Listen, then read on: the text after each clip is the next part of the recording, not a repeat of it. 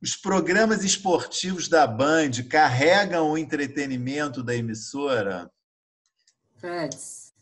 Acho que ele está se referindo ao craque Neto, especialmente, a Renata Fã. Renata. Né? Hã? Não, falei a Renata, é. É. Ninguém se habilita Eu- eu- a responder.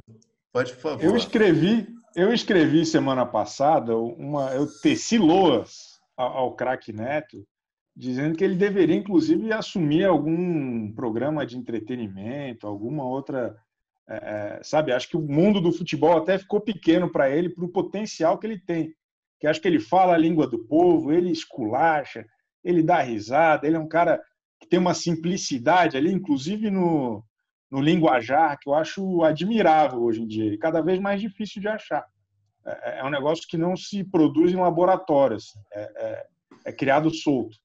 Então, acho que é muito bacana o espaço e a liberdade que ele teve para conseguir criar essa persona e desenvolvê-la na TV com, com, com, tanta, né, com, com tanto espaço ali na, na Band.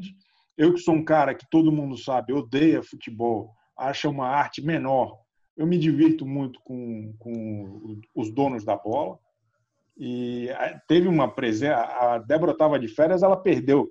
O Supla foi no, no, no programa do Neto. Foi, É, foi uma- eu vi Lá foi que você bom. postou.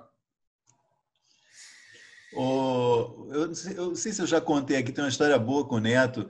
Uma vez eu escrevi na, no UOL, chamei ele de ogro divertido, elogiando esse, justamente essas características que você sublinhou aqui, esse jeitão muito dele, essa capacidade de comunicação muito direta, né? às vezes até brutal, mas sempre tem uma pegada de humor. Né? Aí, pouco depois que eu, ter escrito isso, eu encontrei ele numa cobertura. Aí ele veio na minha direção, eu falei, "Hum, ferrou. Aí ele falou assim: Porra, vocês do UOL são fogo, né? Até para me elogiar, vocês tiram sarro de mim, né? Foi muito bom. eu- O Neto é uma grande figura mesmo, né? Ele é polêmico, né, gente? Eu acho que às vezes ele beira o irresponsável, assim. Mas, de fato, ele tem muitos méritos de, de, de comunicação.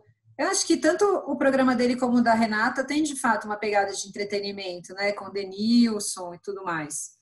É, fazendo brincadeiras, porque ela sempre foi mais seriona tal. Acho que o Denilson quebra isso ali, eles conseguem fazer uma, uma ah, uma coisa mais descontraída, assim, bem humorada, enfim. Acho que, que tem um- uma pegada de entretenimento, sim, os dois. Qual